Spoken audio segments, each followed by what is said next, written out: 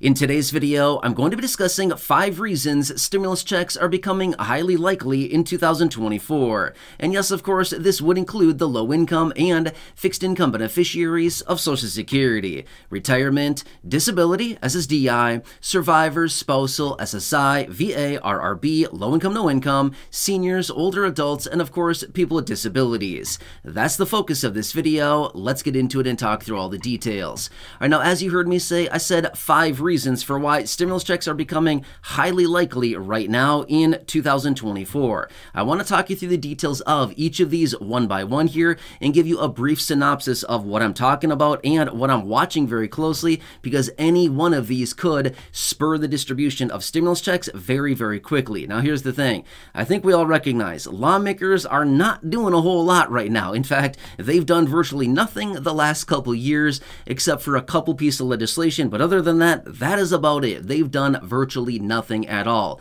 However, one thing I want to point out as well, okay, even though we sit here and say, oh, they don't really do much, when it comes down to the situation of stimulus and when they are needed, they can actually work very quickly. We've seen it a couple times here so far in 2024 when lawmakers need to work fast. Uh, the key word there is need, by the way. when they need to work fast, they actually can, okay? So, anyway, I'm going to talk through the details of these five that I'm pointing out for you, the five reasons. And again, I'll give you a little bit of information on each of them. And again, I can always come back in a dedicated video if you'd like me to and elaborate on each of these in more detail if you want. Let me know uh, down below in the comment section. But really quickly before we get into it, if you have not done so yet, make sure to do yourself a huge, huge favor. Hit that subscribe button right down below the video. I'm here for you every single day, doing all the research, breaking it down into these short videos, advocating on your behalf, and keeping you posted on everything going on that's uh, popping up right now you can possibly grab or take advantage of. Things are changing rapidly, and as I've been saying for months now, 2024 is a pivotal year. It's all about you right now. They need you. They need you way more than you realize. They need you very much. So again, thanks again for being here. Truly appreciate it. Please subscribe down below if you haven't done so. I'll be here for you no matter what every single day. Let's talk through the details. All right, so I'm going to buzz through these relatively quickly just because I want to be respectful of your time. If you want me to come back and elaborate on any one of these in further detail, please let me know down below in the comment section. All right, so I'm going to count on my fingers here uh, as I go through the five. Okay, so I'd make sure I don't miss any, and um, I'll make sure to hit all of these. All right, so number one is Federal Reserve. Now, here's the thing Federal Reserve has been uh, raising interest rates aggressively for the last, call it, year and a half, almost two years now. They've been aggressively raising interest rates. However, the last several months here and the last several meetings, they've been pausing, okay? They've been pausing their interest rate uh, policies, okay? In other words, they're just holding interest rates steady. Now, here's the thing. The, inter- uh, the Federal Reserve is very, very influential. You might think, I don't care about the Federal Reserve. Okay, that's fine. You don't need to care about them, but I'm just saying they're very, very, very influential. They basically call all the shots. Whether you believe it or not, they do, okay? They have a major, major influence on a lot of things the economy, interest rates, the markets. They play a major, major role in this, okay? So number one is the Federal Reserve. Next, going in, uh, in hand with that is the interest rates. Okay, so here's the thing: interest rates have been very, very high lately. Okay, the last, you know, like I said, call it a year and a half now, they've been going up and they've been holding steady, very, very high. And here's the thing: this is contracting the economy. Okay, whether you believe it or not, this is contracting the economy because let me ask you three years ago, when you could borrow money at, say, 3%, and now you're asked to borrow money at, say, 6.5, 7, 7.5, 8, 8.5% or more on things, do you want to borrow money today? I'm not sure about you, but I certainly don't, right? If you're floating a balance on a credit card right now, like I am, it's not a fun thing. I'm just telling you. Paying 22% interest on a balance on a credit card is not a fun time, okay? If you're not doing it yourself, please do not try it. Just take my word for it. It is not a fun time trying to pay down a 22% uh, interest rate on a credit card balance, okay?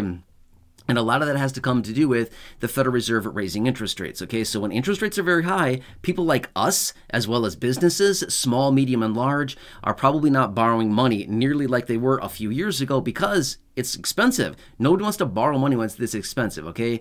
It's not nearly free like it was a few years ago when interest rates were very, very low, okay?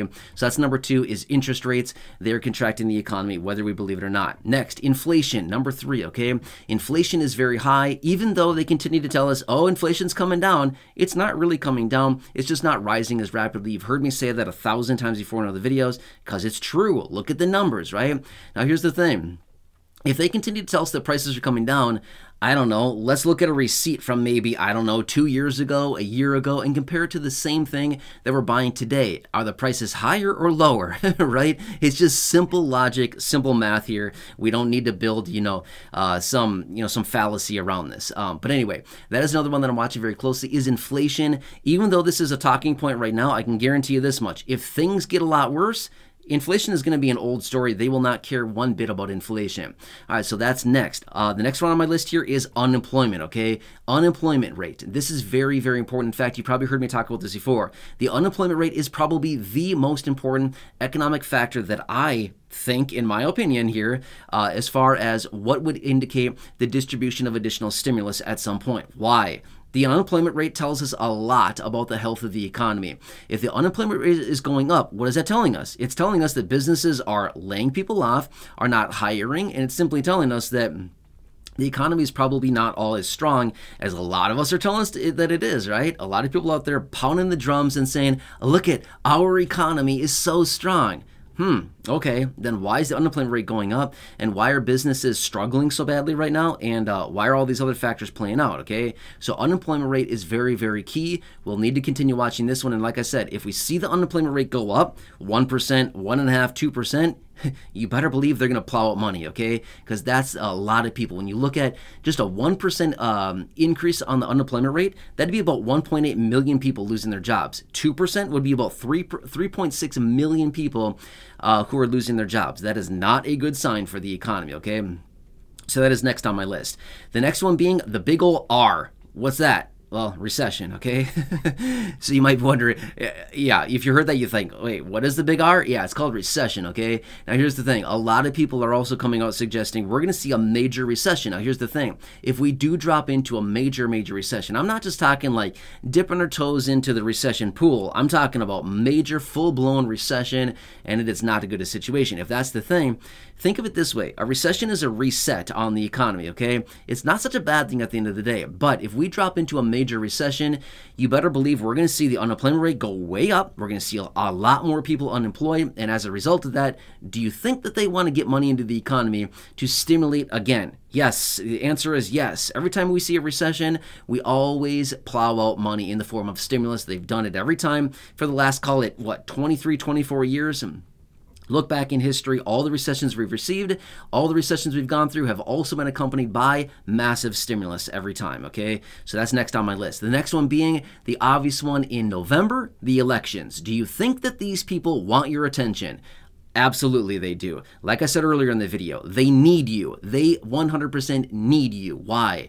Because they need your little dash mark on a piece of paper in November, right? A little filling in of a bubble or whatever, however they do it these days. I don't know. Uh, but my point is, when when November rolls around, they 100% need you because they want you to put in, you know, fill in a little bubble next to their name. Okay. As a result of that, do you think that this is maybe a little bit of a I don't know, bribery tactic that we've seen before happen uh, before in history? Yeah, we've seen it happen before. A couple years ago, in fact, it happened. That is why we got $1,400 stimulus checks back in April or March and April of 2021. It's this exact reason. Okay, so this is another thing we cannot discount. Okay, a lot of people might think, oh, they're not going to do something like that. They've done it before. Why wouldn't they do it again this time, right? I'm just simply saying. So if we have a couple of these things that are compounding on top of each other here, recession, unemployment rate going up, and I don't know, November elections coming up, do you think maybe all of that is a major, major, major catalyst to plow out additional stimulus? I'm going to go ahead and say 100%. Is it guaranteed? Nope. Nothing is guaranteed, right? Except for the passage of time and a few other things. But um, yeah, okay. That is about it, okay? But either way, these are the ones that I wanted to point out. In fact, there's six of them there, but I gave you a little bonus. I said five, but I gave you six. Either way. Okay, so these are the ones I want to bring to your attention. This is everything that I'm watching closely right now. Now, there's a lot of other things out there as well, other economic reports, but at the end of the day, I'm not going to talk about them here in this video because we could sit here for an hour plowing through all the details about this. But these are what I want to bring to your attention. And again, any one of these could derail the whole economy and take the whole thing down. And if that's the case, remember, what happens when the economy goes down? Down. The printing of money and the distribution of stimulus happens every time. Look back in history if you want to. We got stimulus checks every single recession for the last, call it 23 years. Okay.